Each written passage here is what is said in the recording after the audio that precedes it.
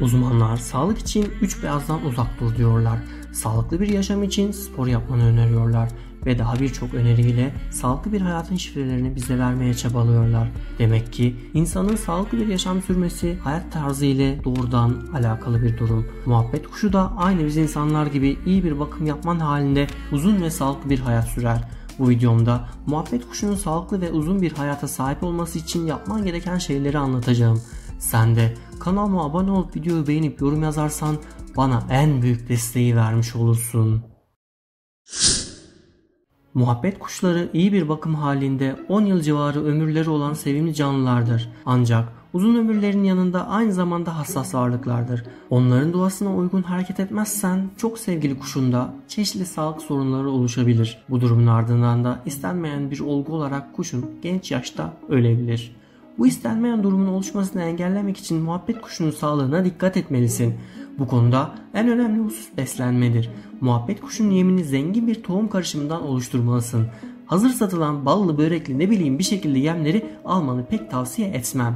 Bunun yerine yukarıda çıkan videoda anlattığım gibi bir yem karışımı hazırla ve tüleye girdiği zamanlarda da mama yaparak onun beslenmesini sağla. Ara sıra yeşillik, asitsiz meyve ve çeşitli tuzsuz kuru yemiş ver. Atalar der ki hareket berekettir. İşleyen demir ışıldar ve bunun gibi hareket etmenin faydasını anlatan bir sürü söz söyler. Canlıların kas sistemi hareketsiz kaldıkça erir ve zamanla zayıflar. Kuşunun sağlıklı bir vücudunun olması için onu günde en az yarım saat kafesinin dışına çıkart. Bu zamanda kuşun kafesine göre uçacak ve kanat kaslarını kuvvetlendirerek metabolizmasının sağlıklı çalışması için gerekli sporu yapacaktır.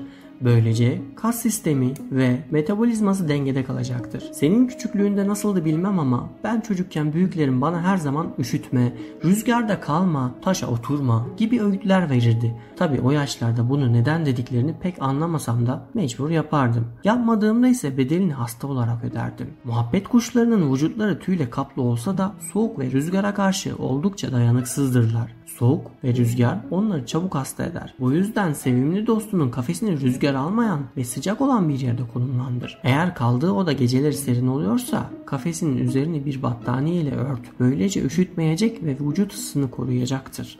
Her zaman söylediğim bir söz vardır. Muhabbet kuşları sosyal varlıklardır. Sevgiyi ve üzüntüyü iyi bilirler. Onu mutsuz edersen, onunla ilgilenmezsen ya da uzun süre onu bir başına bırakırsan üzüntü ve mutsuzluktan ölür. Bu yüzden kuşunu daima mutlu et. Ona olan ilgini asla uzun süreli kesme.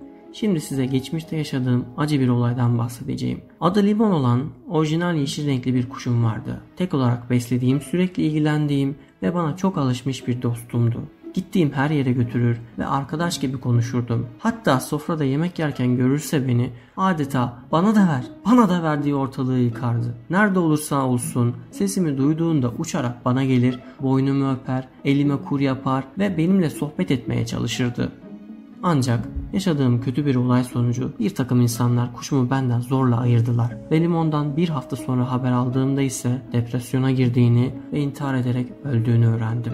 Bu insanlar o kuşun canının hesabını verebilirler mi bilemem. Ama bu olayı hatırladığımda hala gözlerim dolar ve hüzünlenirim. Bu olaydan çıkartacağımız ders ise şu. Kuşunu uzun süreli ilgisiz bırakma ve onu asla mutsuz etme. Aksi takdirde üzülüp depresyona girerek intihar edebilir. Bu videodaki her beğeni rahmetli kuşum Limon'un ruhuna rahmet olsun. Kendine iyi bak. Hoşçakal.